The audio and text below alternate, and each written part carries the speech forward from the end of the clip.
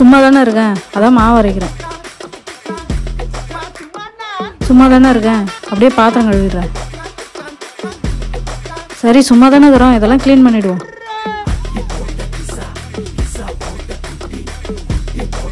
சும்மா அப்படியே பெருக்கிடுவோம். சும்மா தானே இருக்கிறோம். இதெல்லாம் மடிச்சு வச்சிருவோம்.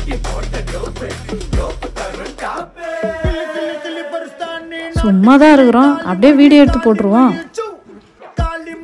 சும்மா அப்படியே வீடியோ எடிட் பண்ணுவோம். சும்மா தானே இருக்கிறோம். அதனால பூண்டு குழம்புக்கு பூண்டு உரிக்கிறேன். இதையும் மீறி சும்மா இருந்தீங்கன்னா சும்மா வேலைக்கு போயிட்டு வாங்க.